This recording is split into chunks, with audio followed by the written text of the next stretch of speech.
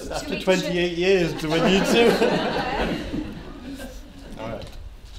Do you want to face each other as well? Yes. Is that okay with your camera? I haven't learned this bit. I need. Hands are good. Holding hands. Well, good afternoon, ladies and gentlemen. Oh no, it's not. Oh yeah.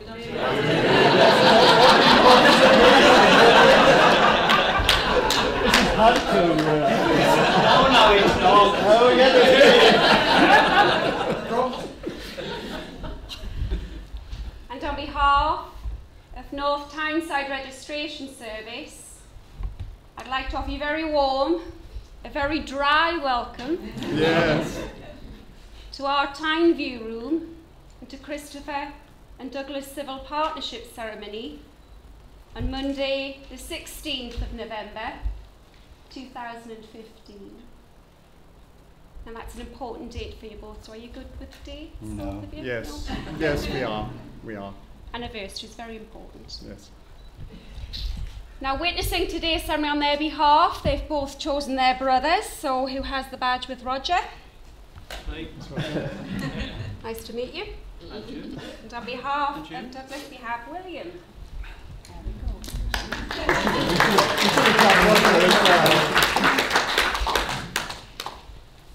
Now, my name is Lisa Walker, and I have the lovely job of leading today's proceedings. It is lovely to be stood before you both, having seen you right through this whole process today. And I've actually got a splitting headache.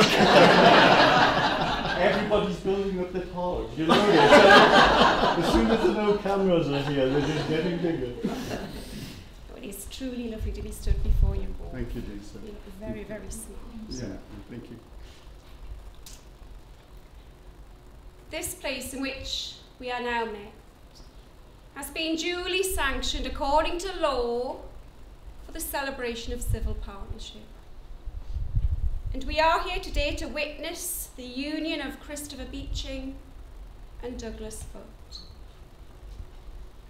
Christopher and Douglas have chosen to make this pledge and commitment before you, their closest family and friends, people who are truly special to them both. It means a great deal to them that you are here in the flesh and streaming live.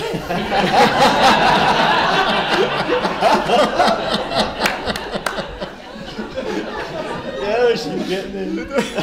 to share their happiness and to witness their partnership vows. Civil partnership is not an easy path. It requires devotion, the ability to listen, the wisdom to know when you are wrong, and the humility to be able to put things right. Above all, it requires unquestioning love. That's true. Civil partnership is a fluid relationship that assumes many different forms throughout the years. A relationship that is always growing or changing. If you are growing individuals, different today from yesterday, and if you can communicate this growth emotionally, philosophically, and physically, your partnership over the years will remain vital and creative. As well as the strong love and respect that Christopher and Douglas have for each other, they share similar principles and priorities. Their relationship enables them to face life positively and constructively, and they now wish to live with a commitment and understanding that civil partnership represents. It is in this exact spirit that Christopher and Douglas are now before us. In each other's company, they have found happiness, fulfillment, and love. And they now wish to affirm their relationship with this partnership.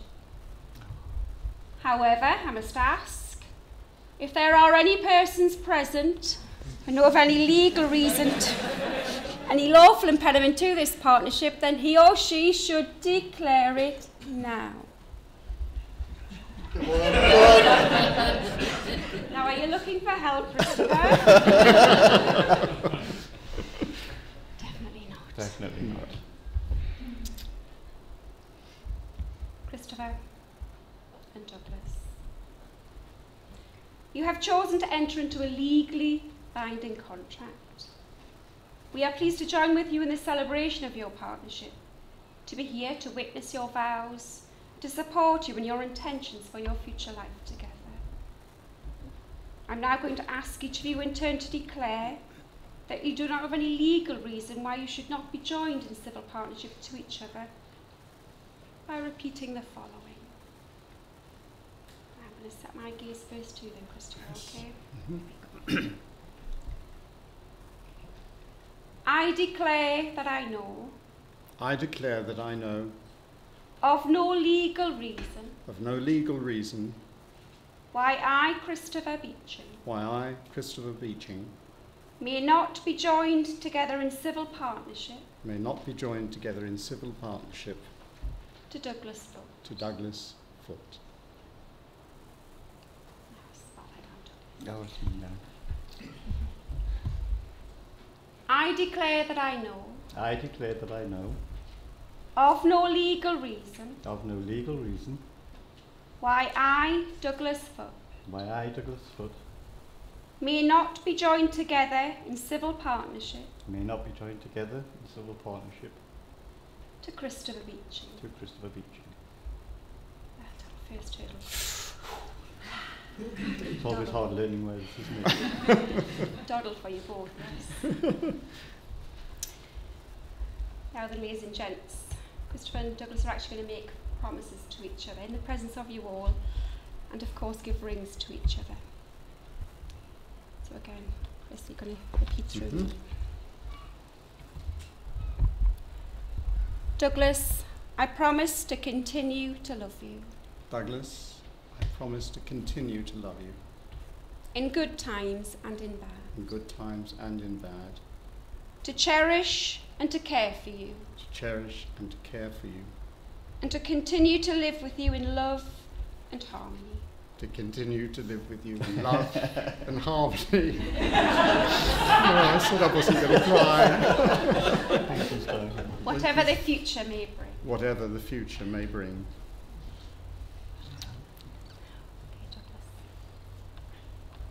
Christopher, I promise to continue to love you Christopher, I promise to continue to love you in good times and in bad, in good times and in bad, to cherish and to care for you, to cherish and to care for you, and to continue to live with you in the love and harmony.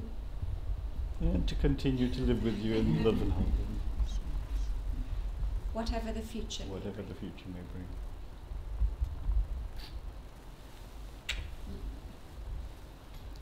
We have now come to the giving of rings, which is a traditional way of sealing the vows you have just made with each other. A wedding ring is an unbroken circle, it has no beginning and no end. It symbolises unending and everlasting love, and is the outward sign of the lifelong promise you have made with each other. So I think that Dennis is going to hold our ring cushion for our little ring bearer, our rather large ring. Come around, come around, come Show around. the There ring, you are. Show the ring. Come right through the side. He's shy. Christopher, I'd like to take Douglas's ring from a handmade cushion. It's beautiful, everybody. Gorgeous. Orders taken, by the way. I'd like you to place the wedding band to his wedding finger. Trembling. I know. Look at that. Nerves. Have you been on stage before? No. I'm keeping his hand in yours. Just repeat through. Douglas, I give you this ring Douglas, I give you this ring as a symbol of my love as a symbol of my love and as a reminder of the vows we have spoken today and as a reminder of the vows we have spoken today in the presence of our family and friends gathered here. in the presence of our family and friends gathered here. If you could take Christopher's ring. Place in the wedding band, yes. I think it does. should do. Please. There you are. It's definitely secure. Christopher, I give you this ring Christopher, I give you this ring as a symbol of my love as a symbol of my love and as a reminder of the vows we have spoken today and as a reminder of the vows we have spoken today in the presence of our family and friends Amen. gathered here. in the presence of our families and friends gathered here. Ah, come on. Gosh, she's eager, isn't Are you wouldn't think we'd you?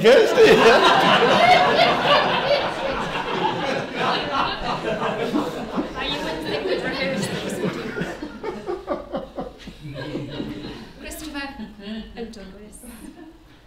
You have both declared your commitment to each other in the presences of your family and friends gathered here today.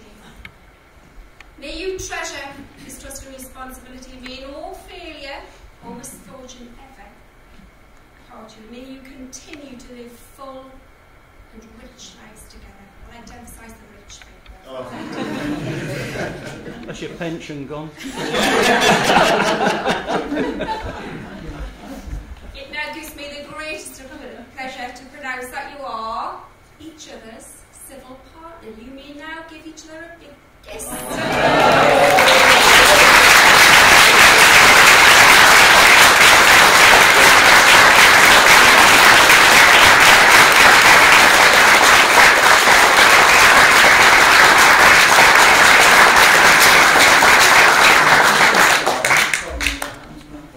now is return, return to the return to the camera, and we say at this point, you all know that Glyn was a very deep and meaningful part of both our lives, Of mine for 54 years. and together the three of us for 28. To celebrate Glenn and Christopher's third anniversary in 1963, Glenn wrote a sonnet. Here to read it, you please welcome Michael Jones.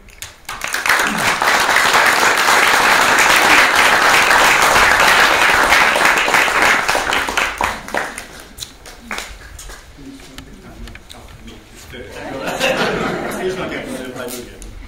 Here it is. If we two should lose each other, my love, we'd both the loser be. So closely bound to one another for full three years in amity. Did we love before we met? Tomorrow will we love again? Yet should it pass that we forget, could we forget and feel no pain? O time, stand still. Let winter's course be stayed. Let not our halcyon summer days be chilled.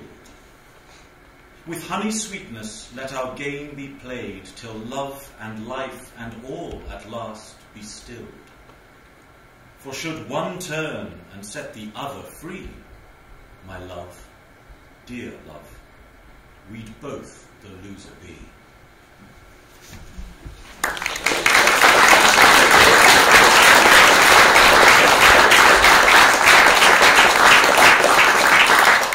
Just myself. Um, at this point, um, I'd like to say a couple of thank yous. Firstly, to Michael, because Yeah, Michael, thanks Thank very much for reading Glenn's sonnet. And next, to all of you who've trekked up here to the Wales of Newcastle, which is turning a bit grey now. Yeah, it was lovely this You- morning. I mean, North North Shields. North Shields, sorry, Oh, well, yes, I got you forget. North Shields. Yeah. So, And then, oh, of course, I've got a list here. My list to everybody no, hang on, um, hang on. around the world Sorry, we're going to be. No, no, no, no. He's- he's It's gone under, with re- under that's rehearsed. not- That's Under rehearsed. that's not what we rehearsed. No, No, I don't- so it's not what we rehearsed. It's, it's far too soon for thanks. No, no. Uh, And I just hit the button.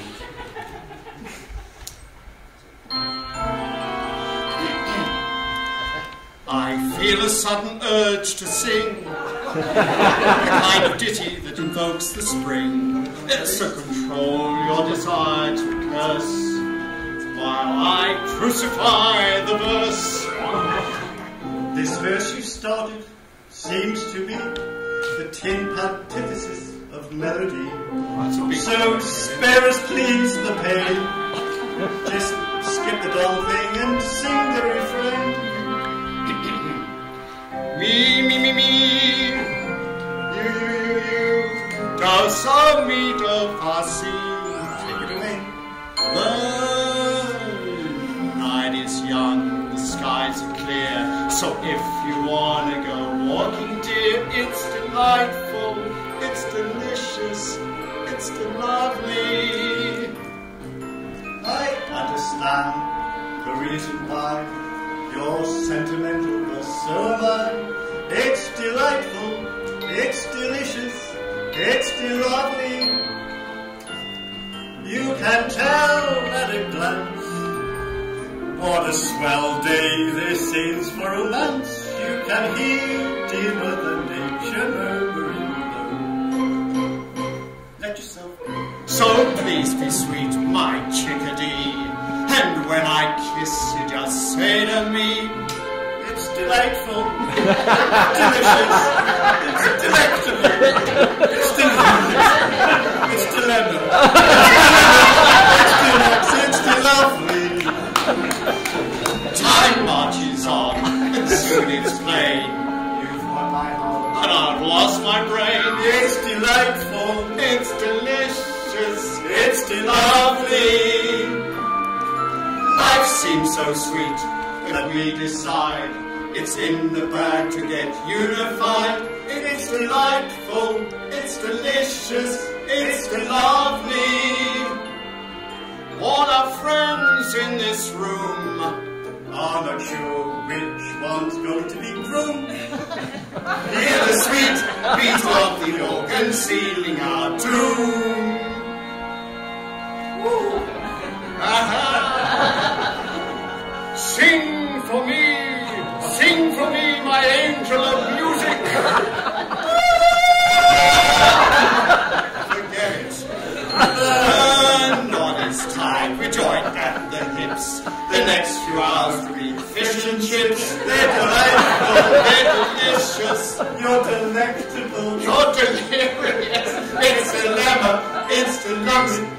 It's. It's love. It's lovely.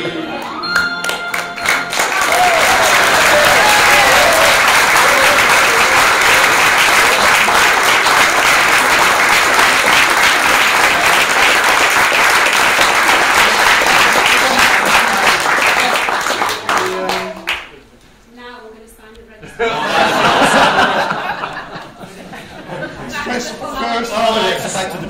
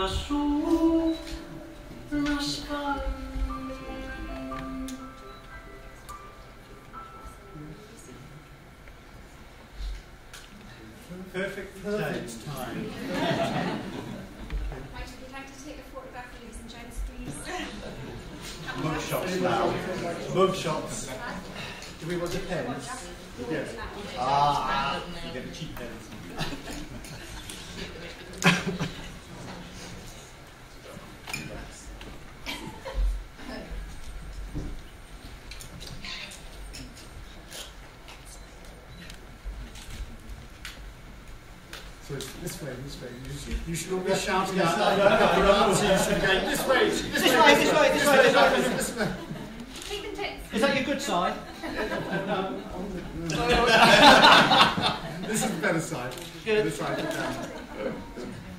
just married.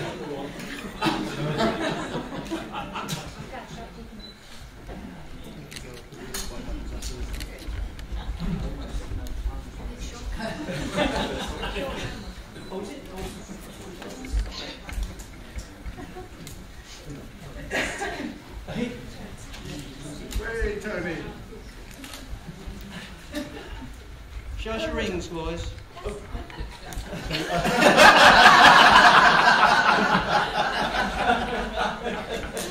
That's my brother. that, that, ladies and gentlemen, listening in South Africa, Australia, and around the world, that is my brother. His royal lordship. His lordship. Heather.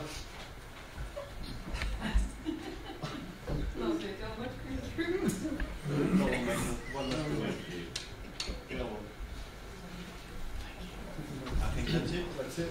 Everybody had enough? Everybody good enough photographs? Now, in five quid a photo, but thank you, Lisa. Thank you. So, now, definitely at this point, I think I should be reading out my list of um, people who are across the town. No, hang on. No, no, no. Marcus Douglas, sorry. No, no, no. Push it away. Put your little scroll away. Put your little, come on, put your little scroll. scroll. no, no, no, you're not going to see his little scroll. Put your little scroll.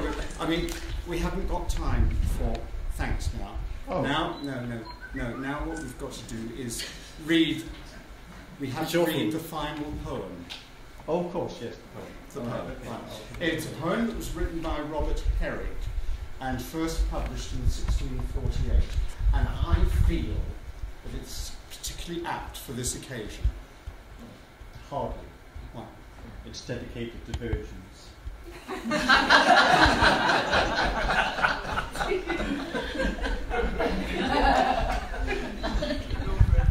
Gather ye rosebuds while ye may.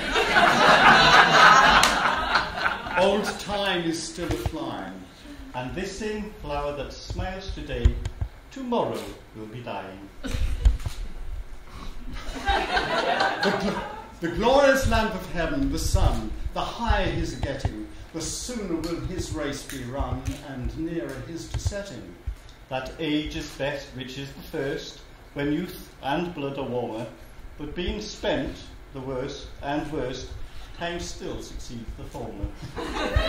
Then be not coy, but use your time, and while ye may, Go marry, for having lost but once your prime, you may forever tarry.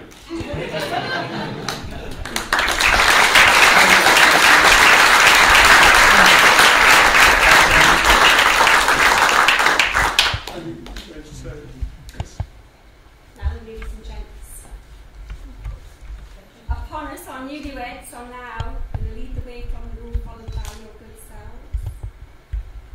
Going to go back up the aisle. Down the staircase you all came up. Does anyone need to use the lift at all? I shall personally take it. push him. Oh, that's cruel. Council. now, for me, what I'd like to do is take this last opportunity to extend my congratulations to a wonderful couple. Would you all agree? Thank